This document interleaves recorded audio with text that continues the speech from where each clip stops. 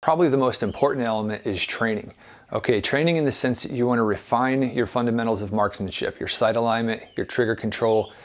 You should practice those things enough that they become second nature and you don't have to think about them.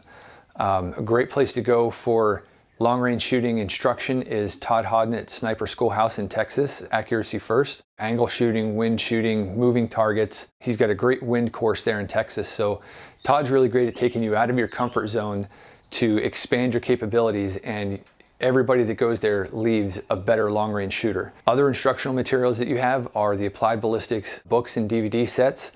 In those books, we focus completely on the science of bullet flight. So when you need to know how much your bullet's gonna drop to the target so that you can make first round hits and really center your group on target, those are the things that you need to be looking at and learning. So again, the most important element in long range shooting is your knowledge your understanding and practice of fundamentals of marksmanship as well as your understanding of ballistics. You have to be able to, you know, fire the rifle, execute good shots that'll put your rounds on target, but you also need to make intelligent sight corrections that will accurately account for the effects of gravity drop and wind deflection to center your group on those targets.